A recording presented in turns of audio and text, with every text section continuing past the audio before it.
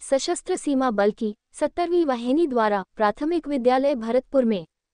निशुल्क नेत्र चिकित्सा शिविर का किया गया आयोजन सत्तरवीं वाहिनी सशस्त्र सीमा बल लखीमपुर खीरी द्वितीय के श्री सचिन कुमार, कार्यवाहक कमांडेंट के दिशा निर्देश एवं डॉक्टर हिमांशु दबास, चिकित्साधिकारी के उपस्थिति में वाहिनी के ग्रामीण विकास कार्यक्रम के अंतर्गत दिनांक अट्ठाईस एक दो हज़ार तेईस को प्राथमिक विद्यालय भरतपुर में निशुल्क नेत्र चिकित्सा शिविर का आयोजन किया गया। इस शिविर के अंतर्गत कुल 55 मरीजों ने निशुल्क नेत्र चिकित्सा का लाभ उठाया।